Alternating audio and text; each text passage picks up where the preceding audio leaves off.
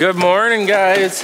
Brody, it's too early for this. We've peeled Duggo out of bed early. This is like spring hours. Yeah, I was thinking the same thing. South Dakota roads are really smooth, aren't they? I really expected one of these tires that you had worked on to be in the ditch by now, too. It's ridiculous back here.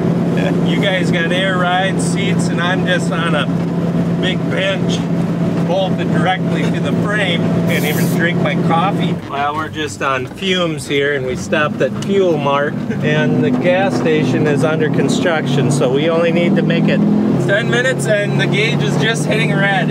We'll be lucky. We're gonna be lucky. Stay tuned. Stay tuned.